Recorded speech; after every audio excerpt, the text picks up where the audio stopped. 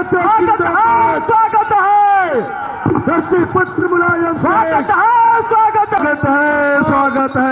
स्वागत है स्वागत है। अखिलेश भैया स्वागत है। अखिलेश भैया स्वागत है। अखिलेश भैया स्वागत है। स्वागत है, स्वागत है। भैया स्वागत है। अखिलेश जी का स्वागत है जलवा कायम है। स्वागत है समाजवादी पार्टी जिंदाबाद जिंदाबाद जिंदाबाद अखिलेश यादव जिंदाबाद मुलायम सिंह यादव जिंदाबाद अखिलेश यादव राजनारायण बेन जिंदाबाद जिंदाबाद अखिलेश यादव मुलायम सिंह यादव जिंदाबाद जिंदाबाद जिंदाबाद अखिलेश यादव नरेश उत्तम पटेल। जिंदाबाद जिंदाबाद। अखिलेश यादव आज़म खो जिंदाबाद। जिंदाबाद जिंदाबाद। अखिलेश यादव सिंह यादव। अखिलेश यादव इंडी सरोज। जिंदाबाद जिंदाबाद। अखिलेश यादव इंडी सरोज। जिंदाबाद जिंदाबाद। अखिलेश यादव बिजमा यादव। जिंदाबाद जिंदाबाद। अखिलेश यादव मुस्तफ़ा सिद्दीकी जिंदाबाद जिंदाबाद। अखिलेश यादव बिजमा यादव। साथियों, जिसका आप लोगों ने काफ़ी देर से इंतज़ार कर रहे थे, ऐसे महबूब नेता करोड़ों दिनों की धड़कन, राष्ट्रीय अध्यक्ष समाजवादी पार्टी, पूर्व मुख्यमंत्री उत्तर प्रदेश, भावी मुख्यमंत्री उत्तर प्रदेश, हम लोगों के नेता, आदरणीय राष्ट्रीय अध्यक्ष जी, अखिलेश यादव जी आ गए हैं। हम बहुत बहुत स्वागत अभिनंदन बंदन करते हैं। हमारे बीच में समाजवादी पार्टी के राष्ट्रीय महासचिव, पूर्व कैबिनेट मंत्री बड़े भैया आदरणीय इंजी सराव साहब जो है। हम उनसे चाहेंगे कि वह अपनी बात रखें। इंजी सराव अखिलेश यादव।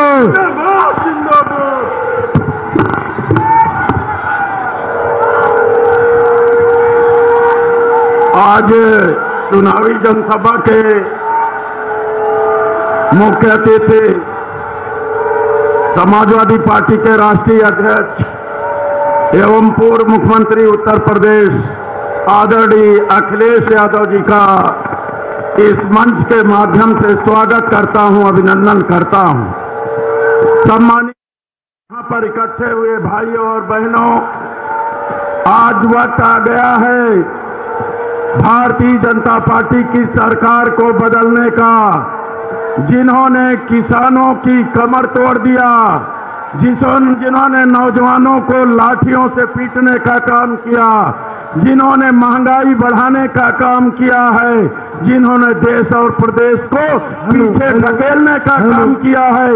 इसलिए आप लोगों से अपील करना चाहूँगा कि आने वाली 27 तारीख को सोराव से गीता पासी जी को और फूलपुर से मुस्तफ़ा सिद्दीकी जी को और प्रतापपुर से श्रीमती बिजमा यादव को साइकिल चुनाव निशान पर बटन दबाकर भारी मतों से विजयी बनाकर आदरणीय अखिलेश यादव जी का उत्तर प्रदेश का मुख्यमंत्री बनाइए।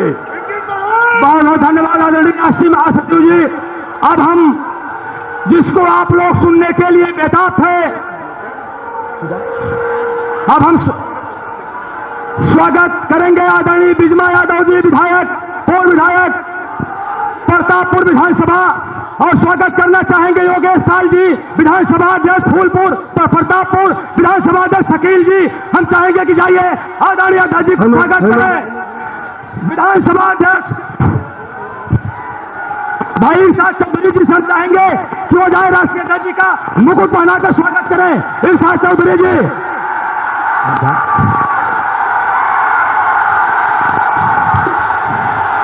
शकील अहमद जी ब्लॉक विधानसभा अध्यक्ष प्रतापपुर योगेश पाल विधानसभा अध्यक्ष राष्ट्रीय अध्यक्ष जी को संबोधन होने जा रहा है साथियों। बहुत बहुत धन्यवाद। राष्ट्रीय अध्यक्ष जी अखिलेश यादव जिंदाबाद। जिसको सुनने के लिए आप बेताब थे राष्ट्रीय अध्यक्ष जी समाजवादी पार्टी के पूर्व मुख्यमंत्री, भावी मुख्यमंत्री जी, आपके बीच संबोधन करने जा रहे हैं। या लंका का मैदान गवाह होने जा रहा है। इतिहास बनाने जा रहा है मित्रों। याद रखिएगा, लंका का मैदान गवाह होने जा रहा है। राष्ट्रीय अध्यक्ष जी का गवाह होने जा रहा है। इतिहास के पन्ने पर केस ठोकने जा रहा है। हमारे साथ। अखिलेश यादव जिंदाबाद जिंदाबाद जिंदाबाद समाजवादी पार्टी जिंदाबाद जिंदाबाद जिंदाबाद अखिलेश यादव विजमा यादव जिंदाबाद जिंदाबाद अखिलेश यादव मुस्तफ़ा सिद्दीकी जिंदाबाद जिंदाबाद मंच पर हमारे साथ समाजवादी पार्टी के राष्ट्रीय महासचिव इंद्रजीत सरोज जी इस कार्यक्रम की अध्यक्षता कर रहे श्याम सूरत भारती जी संचालन कर रहे योगेश चंद यादव जी समाजवादी पार्टी के हमारे तीनों प्रत्याशी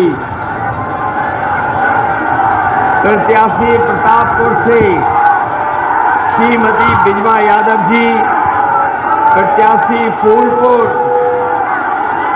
मुस्तफ़ा सिद्दीकी जी, प्रत्याशी, हमारे एक और जो है गीता पासी जी, मंच पर उपस्थित पूर्व सांसद धर्मराज पटेल जी, राम सुमेर पाल जी, रामानंद भारती जी लोक बहादुर जी एमएलसी वासुदेव यादव जी, वो विधायक जोखूलाल जी, सुभाष यादव जी और बड़ी संख्या में हमारी पार्टी के और गठबंधन के सभी हमारे नेता इस चुनावी जनसभा में उपस्थित। इस चुनावी जनसभा में उपस्थित हमारे सभी आदरणीय बुज़ुर्ग किसान भाई मजदूर नौजवान साथी माताएँ बहनें और पत्रकार बंधु मैं सबसे पहले आप सबका बहुत बहुत धन्यवाद और आभार प्रकट करना चाहता हूँ। ये ऐतिहासिक जन सैलाब और ऐतिहासिक जन समर्थन जो आज दिखाई दे रहा है ये समर्थन और जन सैलाब बता रहा है कि आने वाले समय में समाजवादी पार्टी ऐतिहासिक वोटों से जीतने जा रही है। और यहाँ के लोगों को पहले से ही महसूस हो गया होगा कि पहले और दूसरे चरण में लोगों ने क्या फैसला लिया है। पहले और दूसरे चरण में जनता ने जो फैसला लिया है, उसकी हवा लगता है प्रयागराज तक भी पहुँच गई है। ये पहला चुनाव देखने का मौका मिल रहा है, जिसमें जनता चुनाव लड़ रही है। ये पहला चुनाव है, जहाँ जनता चुनाव लड़ रही है। और हर चरण में जनता मुकाबला कर रही है कि आगने वाले चरण में कितने और वोटों से जिताया जाए। लगातार हर चरण में समाजवादी पार्टी और समाजवादी पार्टी के सहयोगी दलों को समर्थन मिल रहा है। पहले, दूसरे, तीसरे, चौथे ये चार चरणों का चुनाव हो चुका है। पहले दूसरे में ही समाजवादी पार्टी और गठबंधन ने शतक लगा दिया था। जो कल वोट खत्म हुआ है और तीसरे चरण में ही दूसरा शतक भी समाजवादी पार्टी के पक्ष में लग चुका है। अब ये आपकी ज़िम्मेदारी बनती है कि इस बार ऐतिहासिक बहुमत दिलाइए। ये प्रयागराज की धरती, इस बार ऐतिहासिक बहुमत समाजवादी पार्टी को दिलाने जा रही है। ये बीजेपी के लोग जो बड़े बड़े भाषण दे रहे हैं बीजेपी के लोग जो बड़े बड़े भाषण दे रहे हैं, उन्हें ये नहीं पता है कि जनता में उनके खिलाफ 440 वोल्ट का करंट चल रहा है। और यहाँ तो लगता है, न जाने कितने वोल्ट का भारतीय जनता पार्टी के खिलाफ करंट बह रहा है। यहाँ के किसान, यहाँ के नौजवान इस बार भारतीय जनता पार्टी को माफ़ नहीं करेंगे। इस बार साफ़ करने का काम करेंगे। इधर आपने देखा होगा, भारतीय जनता पार्टी के नेता आके बड़े बड़े भाषण दे रहे हैं। इनके नेताओं का अगर देखें तो जो छोटे नेता हैं, वो छोटा झूठ बोल रहे हैं। और जो उनके बड़े नेता हैं, वो बड़ा झूठ बोल रहे हैं। और जो सबसे बड़े नेता हैं, वो सबसे बड़ा झूठ बोल रहे हैं। बताओ, झूठ बोल रहे हैं कि नहीं बोल रहे हैं? ये वही लोग हैं जिन्होंने कहा था कि किसानों की आय दोगुनी कर देंगे। हमारे किसान भाइयों, बताओ कितनों की आय दोगुनी हो गई है? जब से सरकार में आए हैं, हमारे किसानों की पैदावार की कमाई आदि हो गई और महँगाई दोगुनी हो गई। जिस समय कमाई आदि होगी, महँगाई दोगुनी होगी तो सोचो खुशहाली कैसे आएगी। इन्होंने न केवल किसानों को, बल्कि नौजवानों को भी धोखा दिया। पाँच साल से ये नौजवान नौकरी और रोज़गार का इंतज़ार कर रहे थे। बताओ पाँच साल इंतज़ार किया कि नहीं किया? और पाँच साल में न नौकरी दी, न रोज़गार दिया। ये हमारे नौजवानों का भविष्य बर्बाद कर दिया। जिन नौजवानों को फौज में भर्ती मिल जाती थी, वो भर्ती भी रोक दी, भर्ती भी नहीं हो रही है। पिछले तीन साल से कोई फौज में नहीं भर्ती हुई। जो हमारा नौजवान भर्ती के लिए इंतज़ार कर रहा था, वर्दी पहन करके देश की सेवा करना चाहता था उस नौजवान को भी इन्होंने धोखा दिया है। बताओ, धोखा दिया नौजवानों के नहीं दिया। और हमारे बाबा मुख्यमंत्री कह रहे हैं कि गर्मी निकाल देंगे। ये सुना होगा उनका भाषण कि गर्मी निकाल देंगे। लेकिन ये जन सैलाब हमें दिखाई दे रहा है। जिस समय ये वोट डालेंगे, ये भारतीय जनता पार्टी के लोगों की भाप निकाल देंगे, भाप निकालेंगे। ये जो गर्मी निकालने वाले लोग हैं, इनके ना नेता कार्यकर्ता ठंडे पड़ गए हैं। जब से किसान नौजवानों ने इनके खिलाफ वोट डाला है।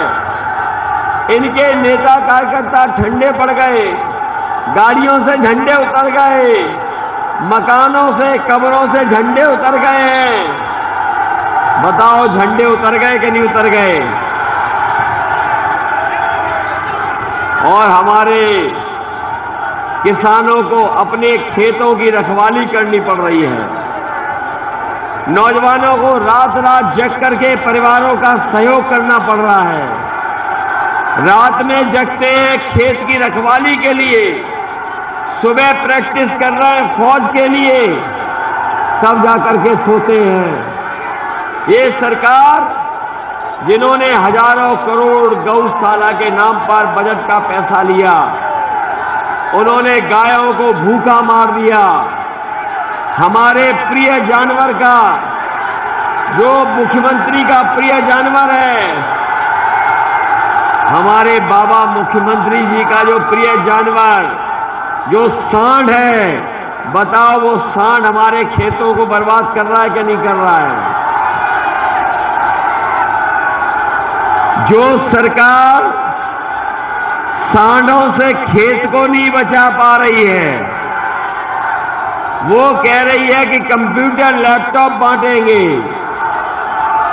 बताओ नौजवानों, किसी को कंप्यूटर, लैपटॉप मिला हो?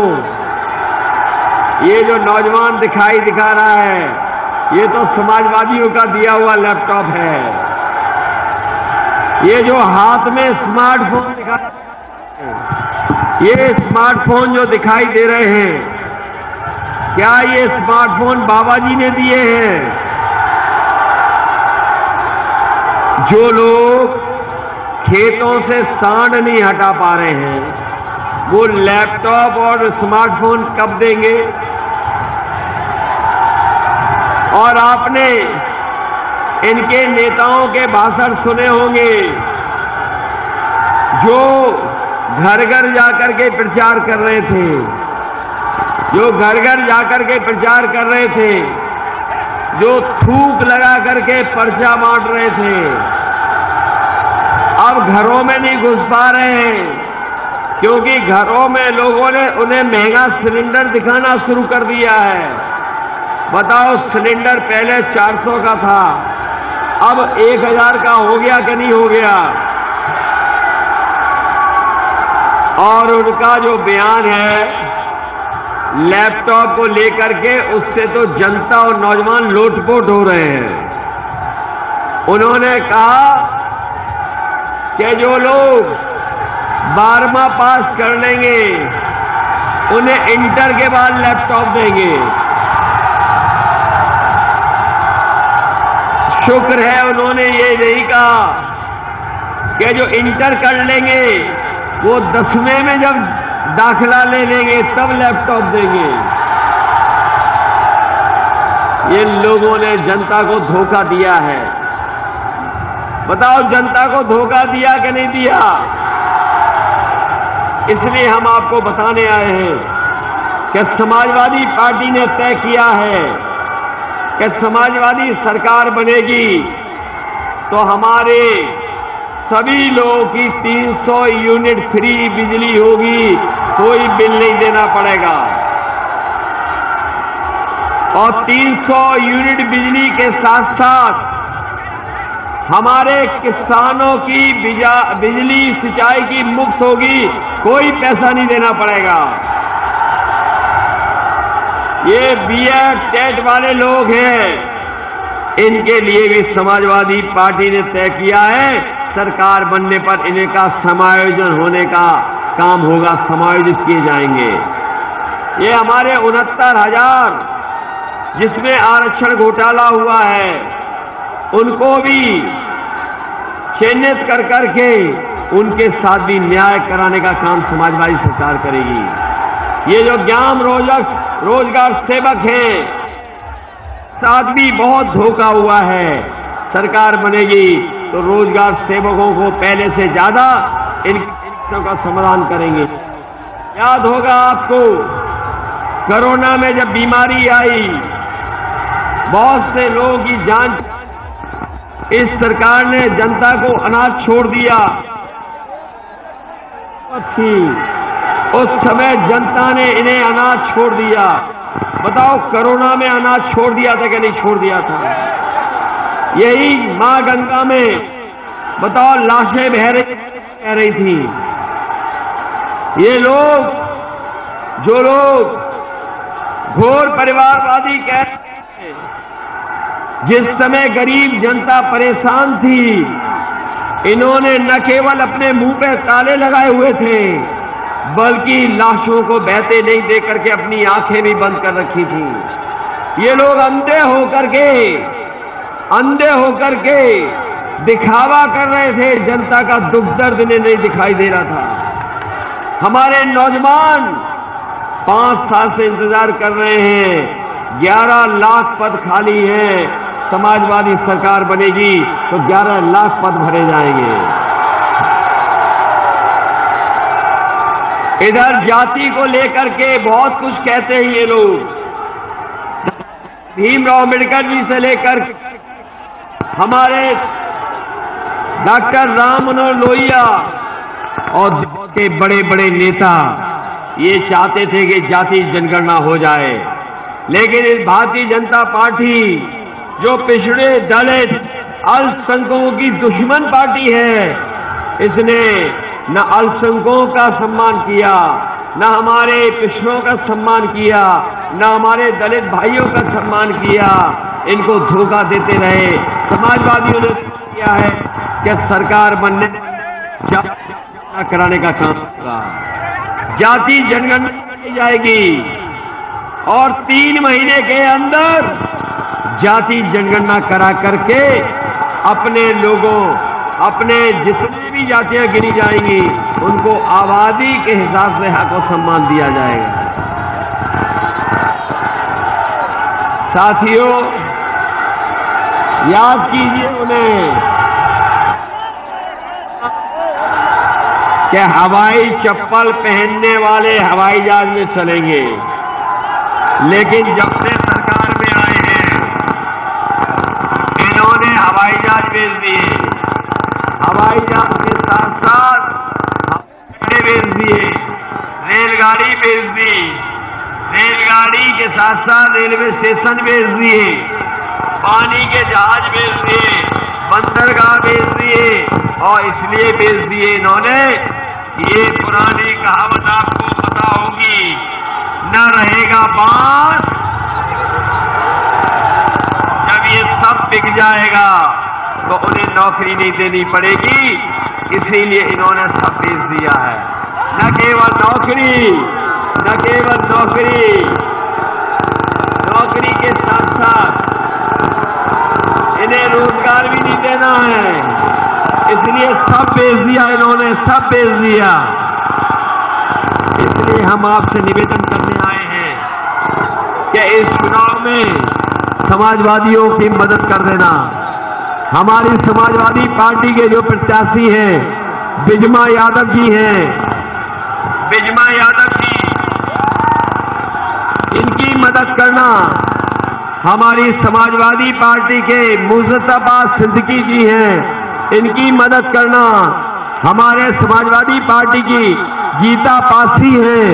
इनकी भी मदद करना, इन तीनों को जिताना, इनके साथ साथ और जो लोग चुनाव लड़ रहे हैं, उनकी भी मदद करना। बोलो, मदद करोगे कि नहीं करोगे? इन्हें साइकिल को जिताओगे। बताओ उस मंच वालों, महँगाई के खिलाफ वोट डालोगे?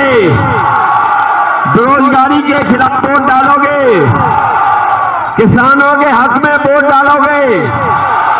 जिन्होंने देश को बर्बाद कर दिया, उनके खिलाफ वोट डालोगे? इन्होंने बड़े बड़े उद्योगपतियों को बैंकों का पैसा दिया। वो उद्योगपति भारत छोड़ करके भाग गए। ऐसे सरकार के खिलाफ मतदान करोगे?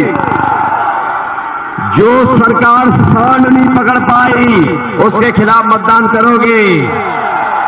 जिन्होंने किसानों के लिए कोई काम न किया हो सात सौ किसान जिनकी जान चली गई हो, बताओ ऐसी सरकार के खिलाफ मतदान करोगे?